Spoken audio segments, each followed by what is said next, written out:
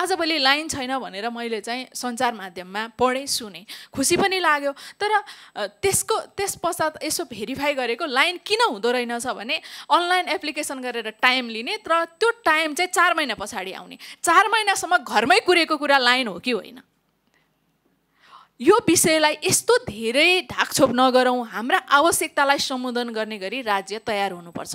त्यसका लागि के सहयोग गर्नुपर्छ हामी तयार छौँ। नीतिगत रूपमा अप्ठ्यारो परेको छ भने यो समिति मार्फत संसदमा पनि लगाउँ तर भएका समस्यालाई घुमाउरो बाटोबाट ढाकछोप गरेर सेवा प्रवाहलाई चाहिँ रोक्ने काम नगरौँ।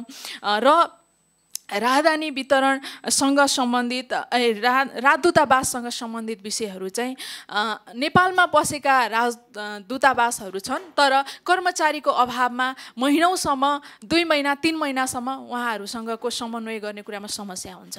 र ती समस्याका कारणले अरू धेरै काममा क्षति भइरहेको हुन्छ। यसलाई पनि कसरी सहजीकरण गर्न सकिन्छ र छिटो छरितो बनाउन सकिन्छ भन्ने कुरामा परराष्ट्र मन्त्रालयले ध्यान दिनुपर्छ। यो राहदानी